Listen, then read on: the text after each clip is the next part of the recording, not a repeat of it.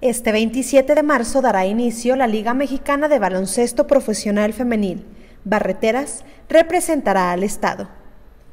Los partidos de esta temporada iniciarán el sábado 27 de marzo a las 18 horas, al enfrentarse con Quetzales de Ciudad de México, y serán transmitidos en vivo a través de las páginas de Facebook oficiales de Barreteras, el Ayuntamiento de Guadalupe y la Liga Mexicana de Baloncesto Profesional Femenil.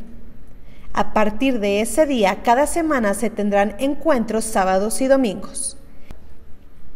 El licenciado Jesús Alba, presidente de Barreteras, dejó claro que este año el conjunto de Cantera y Plata pondrá todo, con el trabajo dentro y fuera de la cancha, para brindar a su afición la máxima satisfacción.